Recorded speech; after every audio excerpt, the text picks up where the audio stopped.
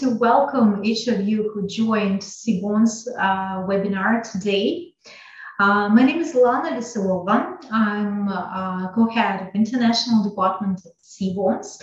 Um, if you still don't know us and you are uh, new at our webinar, so we're a data vendor of fixed income market information with uh, 20 years of experience.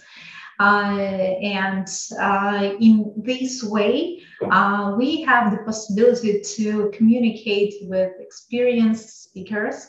Uh, so today's topic of our event uh, is uh, entitled as Are Chinese Bonds Offering an Attractive Entrance? So obviously today we'll speak about high yield bonds. again, um, in with the primary uh, focus on Asian markets, of course. Um, but uh, in any case, today we'll cover uh, global markets. We'll have uh, the uh, global view on the market situation today. Uh, today, our main guest is um, highly experienced chief investment officer and leading experts with 26 year experience. Um, um, Andreas Bickel from Blackfort Capital. Um, Andreas, uh, if you had a chance to read his profile, uh, previously worked in Goldman Sachs, in uh, Deutsche uh, Asset Management at Rothschild. So um, I'm sure this event would be interesting for you as our previous uh, ones.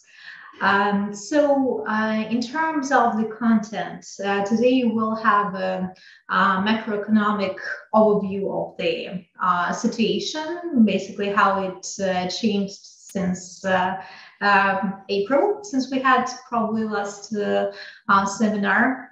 we'll discuss real wise nominal yields, uh, of course, we'll speak about uh, sovereign bonds and whether central banks are right now behind the curve or some markets could improve the situation. Um, and of course, we'll um, be more precise in terms of some particular markets and some particular issues uh, on the Asian market and global. Um, so feel free to uh, ask questions um, please put them in question uh, section. I'll pick the most interesting ones. And of course, um, I'll be joined uh, with my colleague, uh, Alessandro Lombardo. He's uh, uh, co-head of international department. So today we'll also show you the possible ways how you are able to find some attractive investment opportunities in the market what is available now. Uh, so uh, please uh, let me pass the floor to Andreas uh, and uh, be active as the most interesting questions will be discussed. So don't miss your chance to speak with amazing, wise economist. Andreas, how are you doing today? Hi, Lana. Thanks. Good. The weather is at least not bad. That's already helpful. So let's try to dive into. Thanks for the introduction. Although you will see single bonds where you can easily act on it if you will, uh, I would like to stress this is not intended to be financial advice. I'm not your financial advisor. And anytime you invest, you need to do your own suitability check and you need to decide yourself if that things which we are going to see is suitable or not. Having said that, let's dive into it. As Lana has already um, presented the agenda, uh, basically the question is, are high yield, in, in particular uh, Chinese bonds offering attractive entrance? Um, the reason for that is obviously uh, straightforward. As we all are aware of, there is a huge changement in regulation in China. And therefore, the question is are bonds at the moment priced in a way it's worthwhile taking the risk? But before that, let's start with macro because macro and the possibility to invest in bonds is uh, tied together. And similar to April, the story hasn't changed much, but one key element is different. We have now, with rare exception across the board, an inflation problem, or do we have a problem? Question mark. According to the ECB or the Fed, we don't. Other economists, and I would call, call myself uh, to the later part, uh, we think we have here uh, definitely a longer term issue. But let's start with the US, second largest or largest economy of the world, depending on what kind of measurements you are taking. This is the service PMI um, of the US. It has just hit a new record at almost 70. As a reminder, above 50 is um, growth, above 55 is strong acceleration, and about above 60, 60 is really a rare phenomenon, we are almost at 70. Therefore, it is fair to say that um, steam in the US has picked up. This was coming as a surprise because the figures in August and September were weaker, and now we have a strong boost. This is due to opening. What I would like to stress already here is the component price paid. It has the same scale from 0 to 100, and 50 is the dividing line. We are almost at 83. So there is definitely inflation pressure from the service sector. If we turn on to the manufacturing sector, we do see that also here the price paid component is above 85. Therefore, also a strong indication that producer price data will come and actually have already come in much higher than previously anticipated. And also in the comments of the people who fill the, the survey, you see that there is an inflationary pressure because the, the, the delivery chain of input goods and also the, the delivery of produced goods uh, is distorted due to COVID, due to closed uh, ports in China. In, in front of California, for instance, there are like 30 ships waiting that the vessel can be unloaded. And this is across the globe. Therefore, we have a lack of input products, chips as an example for cars, but there's many more and this puts inflation pressures. If we continue with the echo data in Europe, as you can see on the right-hand side, the both data are still consolidated above 50 at the area of 55, but falling, and they keep falling for months. And in the middle, you do see that uh, Germany, fourth largest economy of the world, France and Italy, uh, two other very large companies of the Eurozone, they both have multi-month year, uh, multi-month low levels. In Germany, all the indicator besides the ZEW, which came out yesterday, they are all turning down. But there is one hope that ZEW expectation index has sharply risen. Therefore, the conclusion I had until yesterday morning that the ECB is behind the curve is at least questionable. The same can be said about the Fed um, and uh, a very similar statement uh, about the Bank of England. But today's topics are emerging market, uh, therefore let's move on.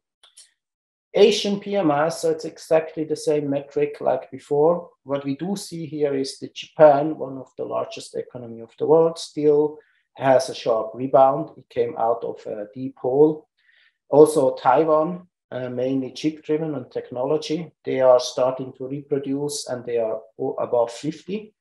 South Korea, based on this measurement, is having a soft patch. However, real data of export do show a surge, but we are still uh, below the levels we have seen before the COVID crisis. And China is a mixed bag. I mean, the service sector strongly rebound, and uh, the industrial area has had a hit. This is due to the, the, regional lockdowns. As we speak, there is again a lockdown in China. So China is, is the tricky bit, and that will be the core of, the presentation. What is, for me at least, interesting and surprising is that the ASEAN area, so also Asia, but uh, particular ASEAN, uh, you do see strong rebounds in all that areas. You might remember we have talked about Vietnam in April, it's more on the equity side, but um, there the amazing bit is a the recovery on, on the macro data or at least on the expectation of the macro data but b um, the equity markets are up 40% while they had lockdowns while they had uh, a lot of goods not shipped out. So this is a, a bit of a conundrum but the good news is that there is outside of china india is not shown here but also india has strong growth Turning back to China, you have on the right hand side the manufacturing PMI and on the left hand side the service. You do see that the service sector is closer to 55 than to 50, while uh, the China is close to the level where uh, it starts to shrink. But in both cases, the second derivative, or if you will, the slope of this curve is positive. So it's open if that is a turning point, but it's a good sign. And if you find underneath the key findings, in both cases, the new work or the activity in new orders since July have on the service level and on the industrial side sharply risen. So China, from my take, is accelerating on a low level, but it's not falling into a recession. And there is a lot of different debates around, and I will show you four forecasts for China GDP in a second. But from my take, um, the growth situation has slightly uh, uh, lightened and looks better. However, there's a lot of threat around. And the biggest elephant in the room, especially for bond investors, is inflation. Here you see um, the Europe CPI blue line. It's about 4%. The figures will come out shortly. And underneath in bold, you see the producer price inflation year over year has already risen above 14%. Uh, this is for Germany. Germany is the fourth largest economy in the world and it's the export champion. This data is the highest on record, and the record begins in 1977. In the 70s until 82, we had strong inflation. So, even on that time, uh, there was never such a high inflation pressure from the producer side, which we expect obviously to manifest in consumer and later on in the second round also in wage inflation. Today, as we speak, probably in 10, 15 minutes, the new, newest CPI data for the US will be published. Nordea has in the past very well modeled um, the expectation of, um, of the latest releases. They do expect, based on their models, that the inflation in the next three months will go above 5%. As a reminder, treasury yields are below 1.5%. And there you already see the key problem for people who are investing in bonds, but we will come back to that. Why do they model that? Well, used vehicles are still not enough there. There is wage pressure and there will be a spillover. There is rents which go up and there are negative uh, feedback loops from areas like food and energy, which have already um, risen sharply. And there is pent up demand due to the highly vaccinated population and the open up. So, therefore, we must expect more inflation in the US, also more in Europe. Not to have just bleak, bleak slides, I thought is there an area where it looks different? And uh, this, lucky enough, was published today uh, in the emerging Asia space in Central and Eastern Europe and in Latam. We do see easing of inflation, or at least of headline inflation. But it's the only slide which is, in this sense, positive from the inflation area. When you boil that down, obviously the question is where we end up and we end up in real negative yields for government bonds. So this is the German 10-year yield after taking into consideration the core CPI data, excluding food and energy. So the real figure, if you include other areas which have a huge price increase, is even lower. So you, are, you start below 3%, and as soon as the next CPI data will be published, the likelihood that this drops further this data is unfortunately always lagged at least one month, uh, we will see lower real yield. So not only you, you, you have a starting yield which is negative, you have even after adjusting for inflation a huge, huge negative data. Similar picture in the US. There the figure is roughly 2.5%. Uh, However, uh, this graph was done as well um, yesterday, but with the data of September. So if you take into consideration that the treasury yield is lower and that inflation probably today will be higher, it is probably fair to say that um, this 2.5% negative is understating the real effect. Why I'm, I keep preaching that? Well, today uh, was an article published from uh, Russell Napier. He's quite a famous economist and strategist, and he he he basically said in a very sophisticated way um, that the financial repression, which I have first presented on a C-bond seminar in Hong Kong, and since then uh, from time to time, is here to stay. Financial repression means you take away money from people who save. You push people into non-performing assets like government bonds, like investment grade bonds. After taking into consideration of inflation, you end up with negative yield. Now you still probably think, what on earth?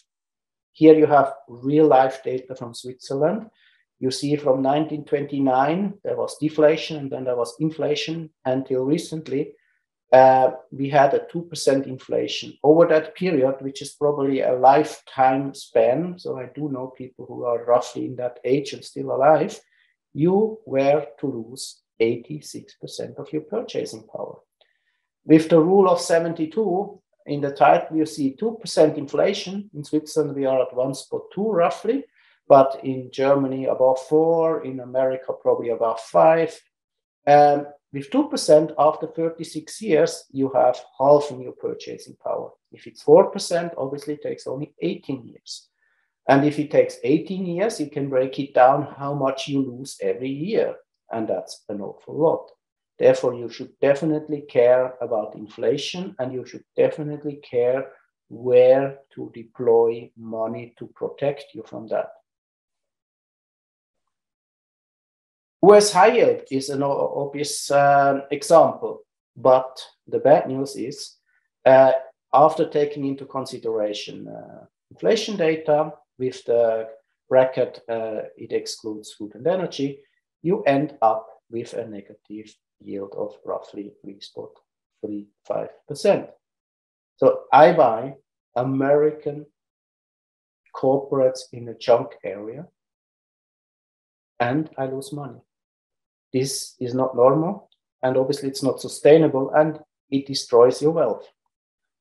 Here you see the global market uh, in terms of spread. So you see the, the lowest spread, so the least yield you get in LATAM and the highest is globally, including Asia. But even the global, if you include everything, 3.8% rounded uh, is not much, plus the basic of the, of the relevant uh, government bond. And to make matters worse, uh, so you lose already money when you invest in nominal terms. You are around zero or a bit above, depending on the currency in the region and on the rating. Uh, after inflation, you are negative, but across the globe, with excluding China, Hong Kong, and at the moment postponing uh, the UK, but that might come in one two month. excluding at the moment obviously the ECB, which might wait till 2023, and the Fed, similar picture.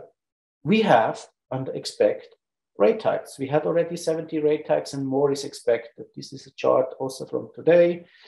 Uh, that means you not only lose as a starting point, but during the holding period with rate hikes, uh, yields go up and the price of your bonds drop much further. So definitely a very bleak message for bondholders at the moment. If we look then uh, again at inflation, but this time in China, as we go now back to the to the to the core China, uh, you see CPI 1.5%. Well, it's a high figure. Mm, if I look at the white line here, I would say yes, it's higher than expected, but it's still contained. But the real story is also here, not just in Germany, not uh, like in America. also here the PPI is up more than 13% year over year. And that's huge, definitely huge. And we buy these products, so the, the, the input factors are rising, therefore the price of the product will rise, and therefore our purchasing power is also threatened from that angle. And the question is, how is the growth outlook? For China, I'm slightly more positive than the red line of GS, uh, but definitely the growth will be around five or lower, 5% or lower. So um, if CPI at 1.5, okay, still real growth. If I take PPI into consideration, looks a bit worse. I'm not so convinced that there won't be stimulus in China, or actually, I'm convinced there will be stimulus. However, it will be most likely on the fiscal front. So now the key question is Are Asian and in particular Chinese um, emerging market corporates in the non investment grade area attractive? If you look at the white line, which includes everything besides property, you see there was no, no much spread widening, and um, you get roughly two to 250 percent, uh, sorry, basis point more yield than comparable bonds in the, in the US market. But the, the problem is the blue line. This chart is already two weeks old. So you see we had a blow up of uh, the high yield spreads. I happened to find the same chart in Bloomberg which I managed uh, to update. So the chart was produced uh, in the middle of last month. There is where we had this red cross, uh, red circle, which was a record. However, in the meantime, we had a mini relief rally, which we actually used to, to sell some, um, some uh, bonds which were hit a lot. But since then, we are back to that level and have even overpassed. And, and, and now it's the question is that overdue? Are there opportunities or are there only threats? Bloomberg says if on the onshore market, there are a lot of opportunities. Actually, the default ratio in onshore no stress. And also in the A rated bond area, there is a bit of stress, but the local, uh, local bonds are okayish. But the offshore markets, so where we can invest, uh, has a lot of stress. The reason why the stress is rising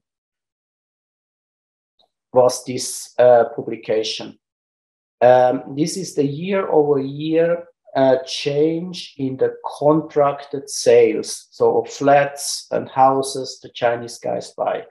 And here you have the main players. Most of them are double B plus, some are investment grade. And look what happened. Year over year, with two exceptions, a huge drop. So that caused the, the recent last two weeks um, second sell-off. Country Garden is a very well-known name, investment grade. Uh, we will go to Agile, we will go to Sunac. Uh, Sunac is state-owned. Shimao is a very solid name. It's almost at the bottom of the list. Uh, real default rates, actual roughly 9 billion. The market was pricing in at the at the middle of October more than 30 billions. In the meantime, we have risen higher. I don't know how the metrics exactly would turn out, but we can assume that it's more than 40 billions priced in. To my knowledge, there was no further default since then. This week, Evergrande has to pay another coupon, so it will be tricky. But so far, the real life is we are roughly at 9 billion. You see here um, how much coupon or refinancing in November will, will be done. And this is a huge litmus test this month. Uh, after this month, we will probably know more in detail if these are opportunities or if there are more threats. And uh, even if the answer is uh, to the left or to the right, in the end, you are choosing companies, uh, bottom up stock picking in terms of corporates. Here you see the same data in a different way. You see it with risk return. And I said we turn back to Agile. So you see there on the top in the left-hand corner, you see a 6.7% Agile bond. It's not written when it matures, but uh, let me tell you, it will be March next year. And you see the risk return, you see it from other bonds. Let's dive into it. And again, this is not a buying recommendation or a selling recommendation. This is just analysis. The bond has dropped within four weeks from roughly 100 to below 70. Um, you see underneath on the right hand side uh, one year default risk distribution expectation. We are in the, the riskier part. However, I remember when the shale gas uh, area in the US was there, most bonds didn't default. And if you look above, this is a model Bloomberg does, Moody's does something similar, derived from the equity market. They, they, derive a probability of default. The ratio has risen, but still uh, it is open. And if you turn in the middle, you see what the equity guys tell you. And the equity guys tell you more than 55% are in a buy, two are in a sell, and, and let's say the holds are also sells. So, but there is more positive than negative um, expectation. The aggregated return potential for all analysts, including the holds and the sells, is more than 100%, although the expected growth is uh, minus 50% roughly. What it means is the equity guys compared to the credit guys uh, have a complete different assessment. We will know in March who is right, but by definition, both cannot be right. I think it was Standard & Poor's, they have recently um, published a report basically saying that the company has more than enough cash to satisfy all the cash needs for coupon payments and uh, refinancing over the coming one to two years. So here is the is the layout. Uh, if they do not go bankrupt, uh, that's a, gr- a, great buying opportunity. But obviously, the risk, the mar- which is the market pricing in, is high. And now look at this. This is from the Financial Times. You see, Agile was circled on purpose. Uh, there are three criterias how um, in future um, you can grow your debt. And if you are fulfilling the three criterias which are labeled above, then you are a green company or a yellow or an orange. And uh, depending on that, you can still grow with more debt or you, you are limited, or if the red one, you cannot increase your debt level. Turning back to the starting point, and this graph is really not old, it's roughly two weeks old. Uh, I see here a lot of names, which Sino Ocean as an example, Shimao, you, you, if you remember the chart from below before, uh, where to find it. Oops. So we have here Shimao. Um, we have Agile. They are at the bottom of the list in terms of sales growth, but at the same time, um, they have more than enough cash to survive. And most of them, but not all, and that's the problem, they will survive. Some of them are even uh, investment grade, like Country Garden. Underneath, I gave you also prices of uh, another Agile bond, which matures in August. Also, that one you buy at the ridiculous price of below 80. But the risk is huge. And if you look on the left-hand side, you we, we remember all painfully Evergrande. Evergrande was already at that time and before, obviously, in the orange area, but it was definitely not red yet. And uh, Evergrande is not yet officially defaulted. Um, they have even restarted building uh, houses and uh, they repaid the, the, delayed coupon. But uh, obviously, this week we will find out how it looks like. Here is uh, the, uh, another Agile bond, the one I mentioned before. So it was dropping below 80 within no time, but since then it has even dropped further. This is one example, but there's an even better one.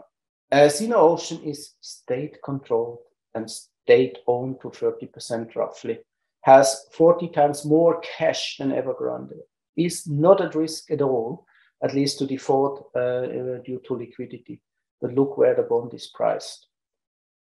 And therefore, if that one is not going bankrupt, and even if it were to, maybe the state will draw, will, will really come in.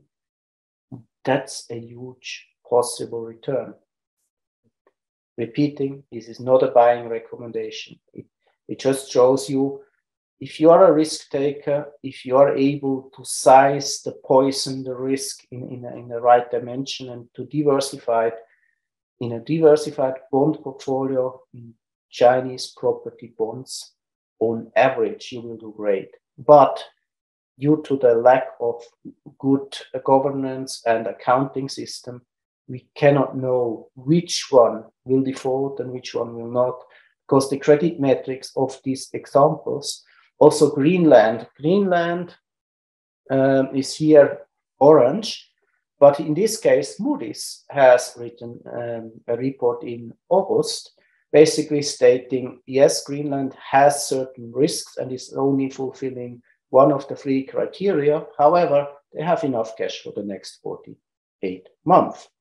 In the meantime, the Greenland bond dropped to 43, has to recover to 65 roughly, and is now hovering around there. Does it go bust? We don't know. It is definitely a huge risk. But Greenland has a similar price to Agile, which is green, has a similar price to Country Garden or to Shimao, which are definitely better quality. Or you see here, Sino Ocean is even investment grade, but trades like junk. So if you have capability and resources to do your homework and to pick your individual bonds and you find them all on, Cbonds, uh, there is a huge opportunity, but there are a lot of threats and there will be accidents and there will be accidents on areas which you cannot foresee. Where shall you invest given this rather bleak outlook? if uh, Mr. Napier uh, is right with his forecast, he basically says that the financial repression, the compressed yield, the, the manipulation of the yield by, by central banks and the state will last for at least 15 years. Inflation is here to stay. Uh, if you look at this landscape and if you have and want to invest, probably emerging market high yield is the base safest, in brackets, safest place at the moment. While in the US, um, I would say there the research is the best. You can be quite sure about defaults, but adjusting for inflation, you lose money. Similar, obviously, in the euro area. Asia is, on one hand, offering you tremendous yield, tremendous opportunity, but at the same time, it offers you a lot of threats due to transparency. So if you are continuing to invest into bonds, you should definitely uh, think about an allocation to higher yielding bonds, but at the same time, you have to have risk uh, control, you have check and balances, and you have to be able to, to survive a default. The summary of uh, Morgan Stanley uh, reasons why high uh, equity markets offer good risk to, uh, return right now. Right now means two weeks ago. Well, the valuation is cheap. Pricing as priced in all the downside. Actually, they were pretty wrong about that because since then we have dropped another five to ten percent depending on bonds. Um, we do believe that the default risk is, is, is in real terms lower than what is priced in. The technical of the market looks for a rebound, and uh, Morgan Stanley expects more monetary easing. I really hope that they are wrong because monetary easing is not really doing the trick. You need fiscal stimulus and you probably need support of certain companies that they will survive. Having said that, most likely there are opportunities in this area. Personally, I would invest also in other areas like commodities. We go here fast through because this is a bond seminar, but copper is needed for e electrical vehicles and is or has had correction period since um, roughly June. Uh, Goldman Sachs expects the price of uh, commodity to go to 15,000 and um, Bank of America speaks even of 20,000 over the next four years. If that's going to materialize, obviously uh, copper mining or products on copper will do well. My personal favorite high risk is if you really want to be carbon neutral, solar, wind, and all the other alternatives will not be sufficient because the battery power is too low and the production capacity will be too low. Very controversial is uranium green? If you ask a physicist, he will tell you yes. When you produce uh, electricity with it compared to oil, gas, etc., no emission. If you ask a normal person or the German government or the Swiss government, and they will tell you, well, this is actually a dirty energy sources because the waste at the end. The jury is still out. Fact is that uranium um, has, after a 12 year bear market, started to rise, and uran mining, here shown two ETFs, they have surged, really surged more than 170% year, uh, in one year. Um, oil is probably going up further because of the demand, the seasonality, but I would not recommend to buy ETNs, so ETNs which track oil price because they are in futures. Futures are in contango, and the contango means that you lose when you roll. Oil is obviously not ESG compliant, um, so if you are following ESG concerns and restrictions, uh, this is no area.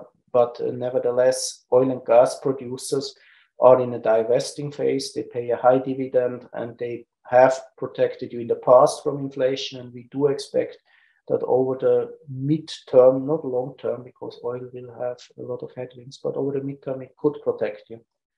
Here you see the estimated um, increase of demand, and you also see, or, or at least you can read that we are now on pre-COVID levels. So the consumption of energy is now at levels where we have been last year in January.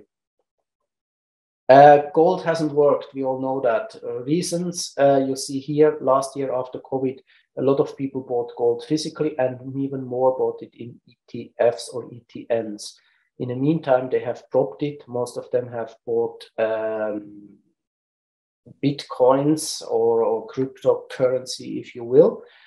However, at least until yesterday, uh, gold has um, done another attempt to break out of this uh, trading range I really don't know when it breaks out. It's hard to see a trigger. In theory, inflation is here, inflation is here to stay, and gold will protect you over the midterm from that.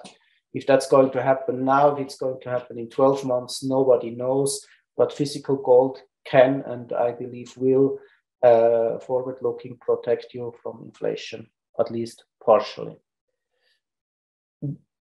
Last but not least, I'm not giving any advice on Bitcoin, but knowing that there will be always questions. Um, I had this chart in previous presentations, and basically, what I said before, I believe, given what I hear from the community of the crypto asset um, guys, we go first to 60, then break above, and next stop 120,000.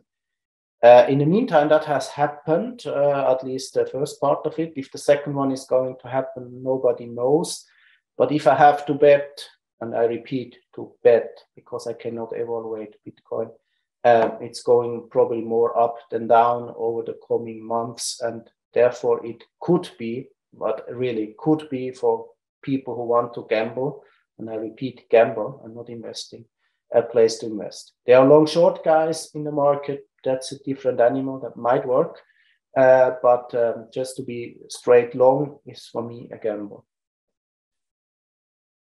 So with that, let me summarize. We have seen significantly spread widening in the Chinese corporate market, especially in, in, the, in the real estate area.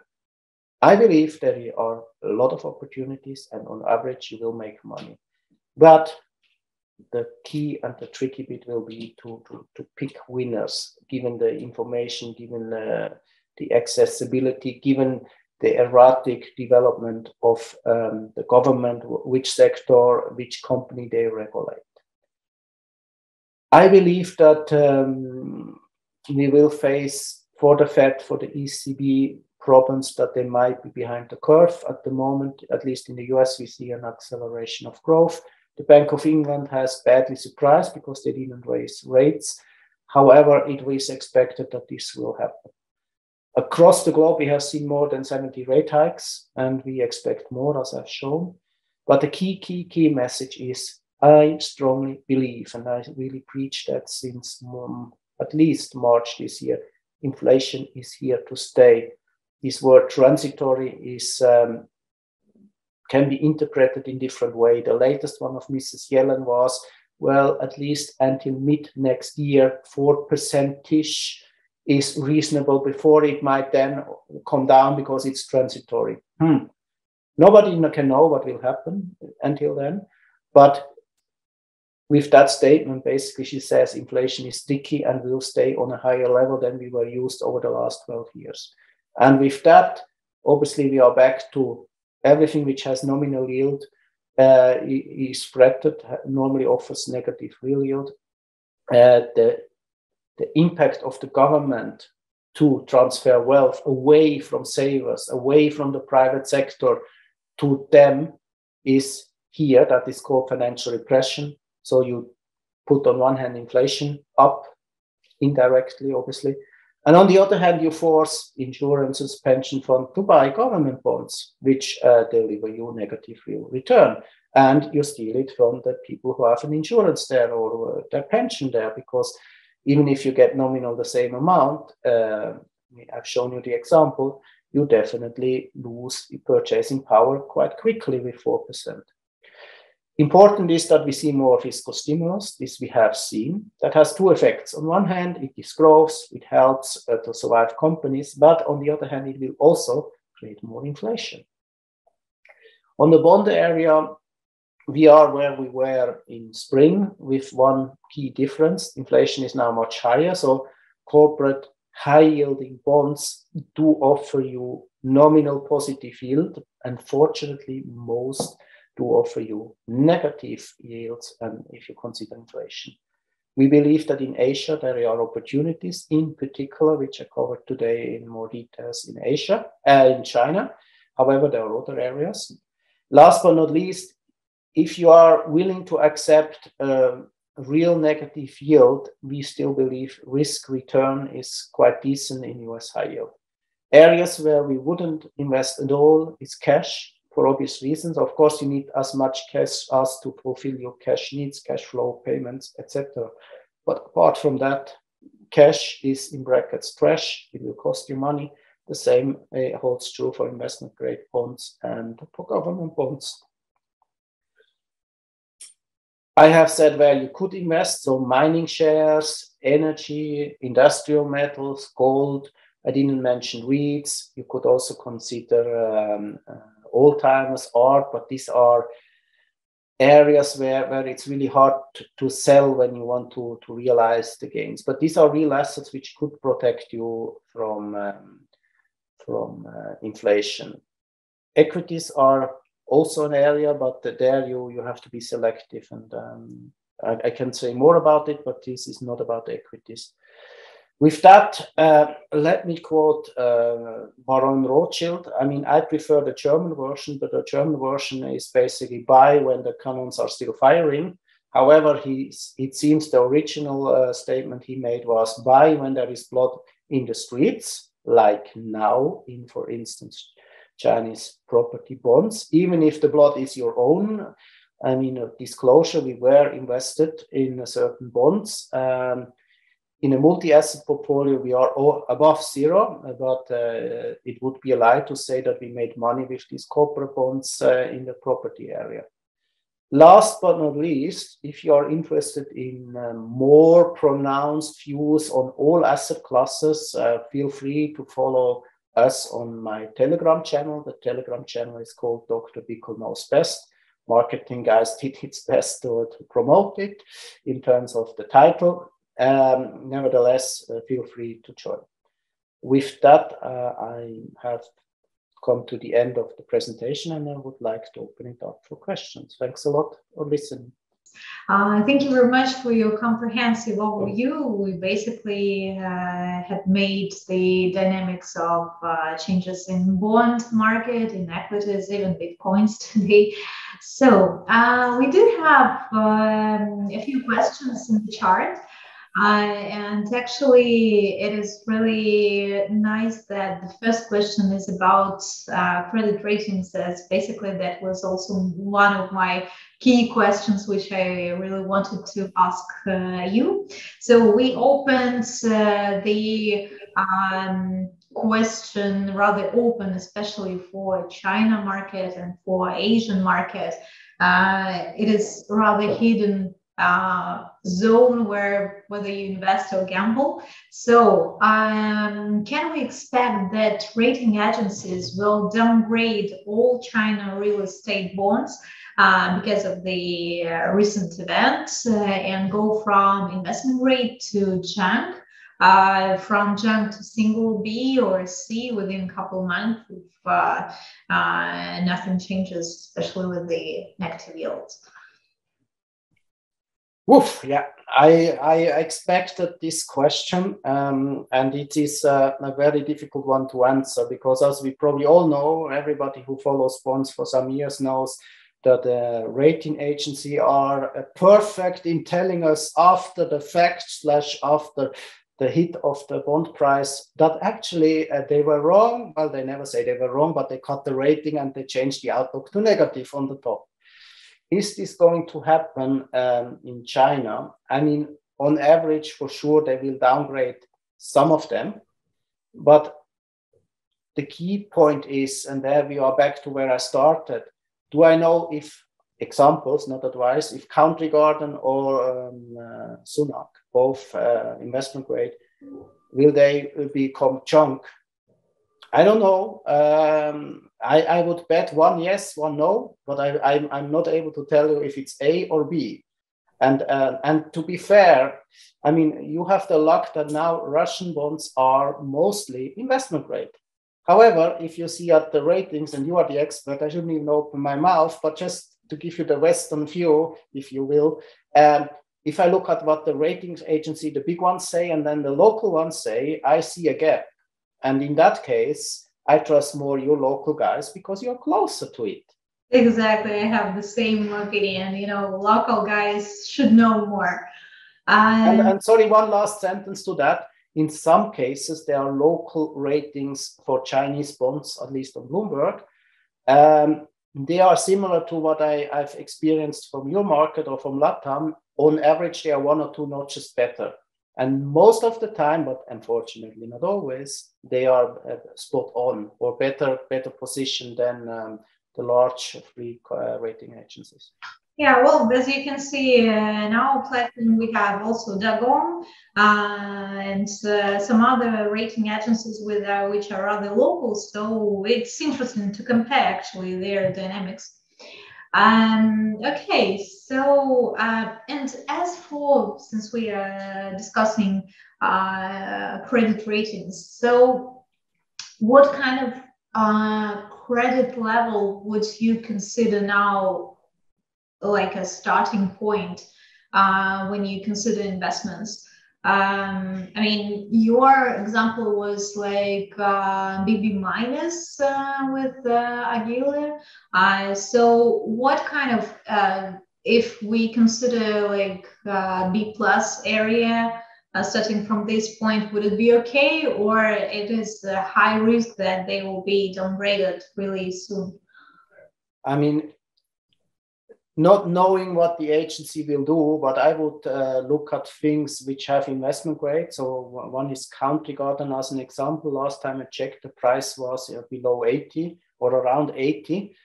It can be that it becomes junk, uh, but this has a really a strong balance sheet. Also, the Sunac most likely um, should should be a, should should survive and might become junk.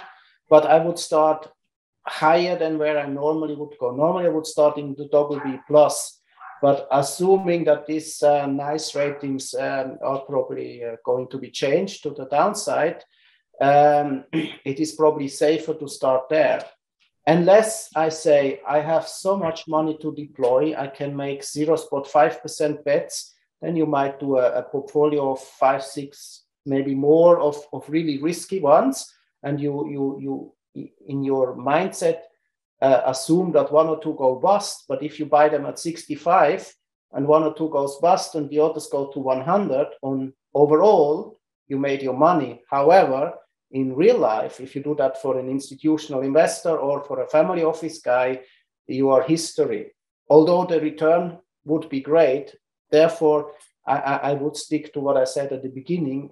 If it's uh, for an institution, if it's for somebody who wants to preserve value in this space, uh, start uh, with what's today investment grade, assuming that it won't be in six months' time. But uh, let me rephrase it in another way. Somebody asked, do you believe that China will be bigger in five years, in one year? The answer is probably yes. Do you believe that um, the real estate sector, which is roughly 30% of GDP, will still be roughly 30% of GDP? The answer is probably yes, even if it's 25. And now it comes the tricky bit. We don't know which one will be in these 25. But for a starting point, if you start with the best rated, or you, you can look at the balance sheet, and Agile is, is definitely a border case. It's really a gamble. Um, and we will know in March. But if it's not going bust, I mean, do the math. However, if you size that bit too much and it goes bust, I don't know where the recovery value is. Is it 60 where it's priced, or is it 30, or is it zero? Because the Chinese government also said, in case of defaults, we will ensure that our local guys get the bonds get the coupons and the flats will be built. They didn't say anything about the international guys. And therefore, you can conclude what that means. Um, okay, I'm reading a few questions in the chat as well. Uh, so, speaking about the Chinese market, so basically it is more presented uh, in terms of real estate companies. Um, so uh, we have a question that um, these companies are highly leveraged and dependent on the real uh, estate prices. So are they still attractive uh, opportunities uh, or it could be rather vulnerable right now? I mean, are they highly leveraged? The answer depends uh, on which part. If you remember this green, greenish mm-hmm. slide, based on the criteria the Chinese government has imposed, the green ones, they are fairly leveraged and they can increase their leverage. But the future depends on the contracted sales growth. And that was the chart I, I showed. And because the figure in October was uh, so dreadful, so falling, now they price in defaults of all the green bonds and obviously all the orange and red ones and not all the, the green ones uh, will survive, but most of them. Um, the balance sheet you have obviously look case by case, but given the metrics uh, we know uh, for the Chinese government, they are in a way regulated or leveraged uh, that they are okay for them. And yes, they are to a certain degree attractive, but they come with a huge risk because if you buy an investment grade bond uh, with a coupon, I, I, don't know exactly, but let's just make a simple example of roughly four and a half percent, and you buy it at 75. I mean, we are, we are all long enough in this bond business. This yield has to come with a certain risk. Uh, true. Uh, also, one more question. So, do you expect the Chinese government will intervene uh, at a certain moment in the real estate sector in order to stabilize um, the sector given the importance of it uh, in uh, GDP number? I mean, they officially said in the case of Evergrande, which is one of the richest guy in, in the background of China, mm-hmm. um, he should use his private wealth and they will not intervene. And at the same time, they push them to, to, to pay. And somehow, actually, they have intervened because they told the banks that they can still use the loan. They should not cut uh, the, the, the LTVs.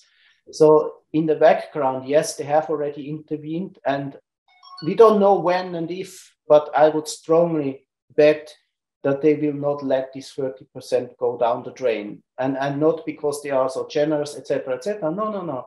Because people have bought flats which will be finished in one or two years' time.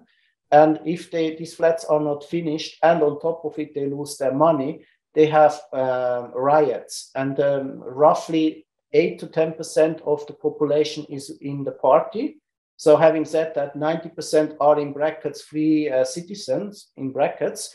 Nevertheless, this is the biggest threat of, of, of the system. If there are riots, not just in one city, but across the country, and therefore they will do everything um, to prevent that. That doesn't mean that they will protect the foreign investors because they couldn't care less about the foreign investors, but definitely for local guys. And now the tricky bit, if you are from abroad, uh, which one of the international bonds will survive? That's basically uh, the answer to one of the questions. So uh, we did had a question in the chat that Chinese government helps a lot uh, local investors, but uh, leaves foreigners uh, rather helpless. So the, the question was, is it a reality? Seems like yes. So um, let's see uh, which bonds. Um, how would you evaluate which bonds will stand? Um, I mean, a few criteria on, on your choice. I mean, I would start obviously with the balance sheet, how much leverage there is, and I would try to find out how much free cash flow they generate. You find that on Bloomberg. I'm not sure if you have the data on Cbonds too. Uh, oh, you can check uh, IFRS reports as well. Yeah, but now it comes the tricky bit. Uh, most of them they look pretty good, but you don't know if the figures are cooked or not. Exactly. So this is also a rather tricky area, uh, which is why, for me, Asian markets are still rather unknown story. Sorry to tell you, um, for us in the past, your market was as well the same, and um, now you are investment grade. so um, yes, I mean this is a high risk. It's a high controversial, and um, do I trust the Chinese government? No. The only thing I would like to add that this regulation we see now has happened in the past. In the past, they did uh, regulate other sectors and it, they hit them as well. Uh, what you cannot know is which sector is next. I mean, the real estate sector is probably plus minus known the threats, but there will be probably more regulation. Mm-hmm. Well, seems like Asian stories pretty much uh, discussed. So let's uh, summarize probably on the global market. So, uh, which markets you still uh, think are worth consideration for uh, investors? So, for instance, Latin, uh, Latin American markets they are pretty popular. What do you think about them as of now? Yeah, I mean. Um the yield is unfortunately low, but in Brazil, disregarding the problem with the government and the COVID situation, they look quite stable. Of course, the yield is extremely low. Uh, we have problems in Mexico. Um, the outlook of the economy looks okay. However, certain companies, especially in the credit leasing area, Crédito Real as an example, they have dropped like like a bomb because there was a fraud in the sector, and um, uh, I I would go probably for certain state near state owned companies in Brazil. Um, the best research market is obviously the US. Um, you still get higher uh, yield than uh, in Europe. Europe had, by the way, a very good year. Um, but forward looking, if I am going to invest in bonds, I, am probably going to buy uh, US, um, some Brazilian, and where I can and where I have a large enough pool of assets, I might add tiny bit of uh, of these Asian bonds. But, but, I, but wait a second. But the question is, shall you not diversify to certain other areas? And it doesn't have to be equities. That's why I included the other areas. Mm-hmm. And what do you think about high yield in euros? Does it still exist? Because uh, that was my re- really uh, last question a few days ago when uh, one portfolio manager said, I'm uh, having high yield uh, portfolio only in uh, Europe. I mean, that person is a lucky person this year because he had a tremendous return. But are these yields you are getting, and I showed the chart, it's the lowest in the high yield space, really worth taking the risk? Because in the end, you take an equity risk and the return, if I was not, uh, if my memory is not completely wrong, two and a half or, or, three percent, while the inflation is five. Mm. Yes, there is a market. I, I personally believe in, in euro after the rally, uh, the risk return is not really worthwhile. And, and, and on the other hand, if this inflation theme is transitory, like the ECB keeps telling us, like the Fed keeps telling us, so in one to three years' time, you probably have again um, decent returns, but in the meantime, you definitely lose after inflation some money. Okay, Andrea, thank you very much for your time. I think uh, we'll still have one more meeting uh, as uh, as usual to sum up uh, the year. Uh, but let's see. I hope uh, hope our plans will make true. Thank you very much for taking time to share your opinion how we are going and which markets could be more or less interesting right now in terms of high yield. Uh, and now I would like to pass the floor to my colleague Alessandro Lombardo, and we'll try to see uh, where and which ways are possible to find uh, some high yield bonds. Hi, hello everyone. Hello, thank you very much, Lana. And thanks also to Andreas as well for his extremely interesting presentation. Uh, my name is Alessandro Lombardo. I'm the, co-head of Cbonds International Department. I work with potential uh, clients and current clients all over the world. By the way, I see that uh, we have today a lot of current clients uh, following our webinar, and that's very, very good. Uh, and now we are going to present basically the main tools of the platform. My colleague Lana will do this uh, in, a, in a few minutes. I will just make a brief introduction of, of uh, what has been done and what we are doing right now to add, let's say, values to different kind of investors. So let's say, um, I will just say a few words regarding what has been done by, by our team also this year. Uh, first of all, we incredibly strengthen our bond coverage and our research and analysis tools in general. So basically, we currently provide detailed information on, on over 600,000 bonds uh, from 180 countries. This is quite interesting as it's one of the most comprehensive coverage we provide uh, in general among all kind of data providers uh, all over the world. So we have now 100% coverage of all the Eurobond markets. So it's full coverage of the Eurobond market and more than 300 primary sources of prices among stock exchanges uh, and OTC market participants. So basically 50-50, let's say. Uh, we now also fully cover the equity market and we are going to add as well the ETFs uh, to our database.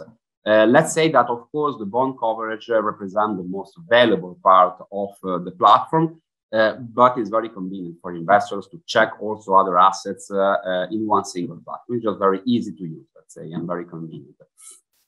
We are now really able with the tools we have to satisfy different requirements of different investors profiles from retail investors to financial consultants from portfolio managers of asset management companies to bank back offices. So let's say that let's say that the need uh, the, the, the, the, all the requirements can be quite satisfied with the different kind of service we provide because we provide, for example, the web access to the information. We provide also the Excel add-in extension to visualize data directly from, uh, from Excel, and also uh, the API services, which is one of the most, uh, let's say, convenient uh, ways to receive our data feeds in a structured way. So basically, you pay for what you require.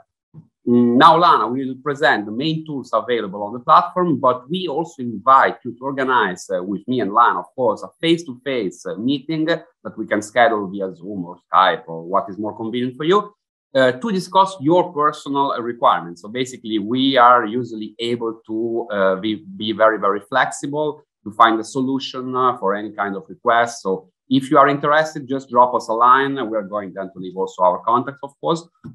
You will receive an automatic email with my email and Lana's one at the end of the seminar. And we're going to be very happy to schedule a, a meeting together. So now uh, you can all enjoy Lana's brilliant presenting skills. The main uh, question is where to get these high yield bonds, or in any case, where you are able to compare uh, different markets and choose your own strategy. Uh, where you are able to verify some information and find uh, probably uh, your prospectuses in order to pass the compliance and just to see all your covenants, uh, just to have your kind of like insurance. Uh, and uh, some financial reports. So um, I'll be pretty short uh, in terms of the demonstration. it will be sweet Uh, and uh, rather user friendly uh, in terms of our platform. So um, uh, the main functionality, which I think uh, should be in your hands, is the bond screener.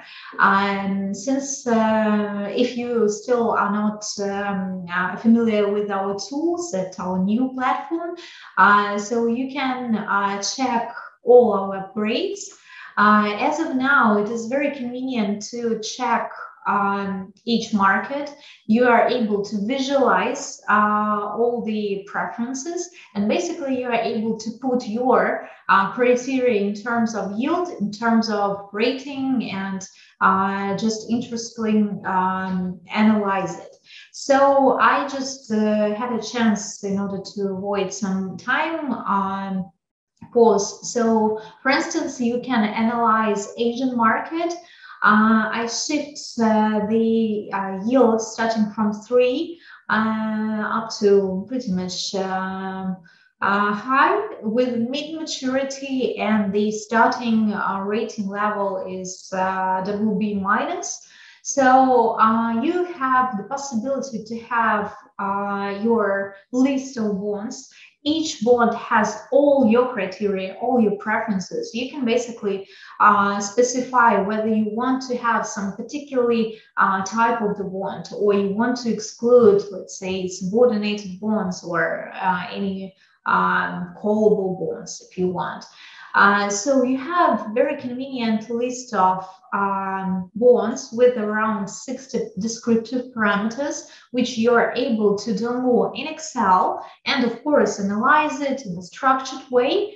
Uh, but I would like to show you a very interesting functionality which we recently added. Uh, so um, uh, you're able to visualize all your bond search results on the yield map uh, in terms of yield and duration. Uh, if you want, you can uh, just enlarge some part uh, in order to analyze some particular duration, let's say.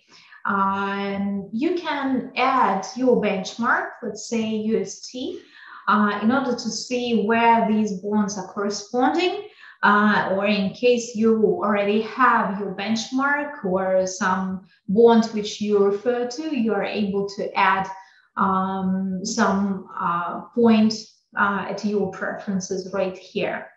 Uh, if you deal in different uh, currencies, you are able to put uh, any benchmark. It could be uh, bonds, um, uh, as you prefer. So very convenient that you are able to go directly to this page and analyze all the parameters. so in a very structured way. You have all your uh, warm data. Uh, so uh, you're able to save it in PDF to make your nice reports or uh, to send to your clients. Uh, or if you uh, like old-fashioned way, sometimes I just uh, want to relax and um, look at, the paper. Uh, so you can um, use all our analytical tools, which are represented on a single page. Uh, so uh, you don't need to go back and forth in order to calculate your yield to maturity, accrued coupon interest, PVBP, convexity, uh, any parameter which you need, or just simply just a price. Um, as of now, the uh, crucial matter is uh, prospectuses, final terms. So uh, feel free to check our coverage as uh, it exceeds uh, rather reputable uh, data sources like Bloomberg or Reuters, pretty much in 25% or something like that. So you are able to analyze the dynamics of changes of price. Um, as already mentioned, Cbonds is a data aggregator with 20 year uh, history. So the historical archives uh, of prices and yields are, are rather big. So you're able to visualize uh, the dynamics of price, uh, yield, spread. Uh, now you are able to compare uh, bonds uh, and indices. Let's say if I want to compare, so we are now at Alibaba bond, let's compare with uh, Cbonds Asia corporate high yield and yield to maturity index in order to see where this bond corresponds uh, among all uh, corporate high yield bonds uh, at this situation. Uh, you are able to visualize and compare a few bonds, for instance, and see uh, the spread between them. Um, as we already mentioned, um, we provide the prices from around 300 sources, 50-50 uh, from uh, stock exchanges and market participants. So you are able to see um, market participant quotes and uh, end of the day quotes from all the stock exchanges, including FINRA um, trace and fee disclosure. So basically, that's how market participants actually close their deals. Um, in case uh, you have uh, interesting corporate uh, who has bonds and equities on their balance sheet, uh, so Cbonds provides information on stocks or equities as you prefer uh, as well. So this is very convenient to analyze the total debt uh, of this uh, issue with the turnovers and see. Um, uh, and um, as we already discussed with uh, Andreas, right now it is very uh, crucial to monitor the situation from rating agencies uh, so here you get the updates four times a day. So you are able to track uh, all the situation in order to see how these bonds are performing.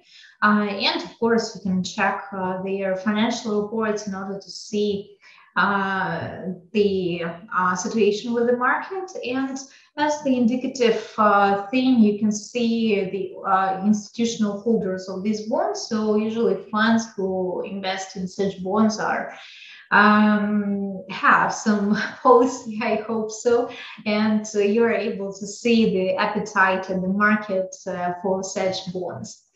And so, uh, having said that, so you are able to track all your bonds which you uh, have. Uh, as of now, uh, you can set the alerts, for instance, in our watch list uh, in order to uh, uh, to have a hunt on bonds so you can set your price yield alerts and when the bond hits certain point you're ready to buy or sell bond you'll be warned about such things Um, in any case, uh, if you're interested in more detailed presentation or you have some uh, questions in terms uh, how to uh, find some bonds, uh, if you have some difficulties in uh, monitoring some markets or just want to improve your portfolio management tools, feel free to contact me and my colleague Alessandro. Um, we have different solutions uh, starting from just subscription to the website uh, with very uh, convenient tools uh, like mobile app or just uh, web access, or you can uh, have more customized solutions and autom- automatic way of receiving bond data via API or just ready-made Excel files. Uh, all right. Uh, in case you have some questions uh, to me or Alessandro, feel free to write them in a chat or feel free to contact us personally and we'll uh, answer all your questions. Um, in case uh, some partic- uh, participants were not able to make it, uh, this uh, webinar will be uh, available at the record um, tomorrow. So, um, and you can see and ask uh, us for materials in case you would like to review um, this event a bit later in more convenient time. Uh, all right, thank you very much for your attention, and it was a pleasure to have you with us today. Uh, and wishing you smart investment uh, decisions.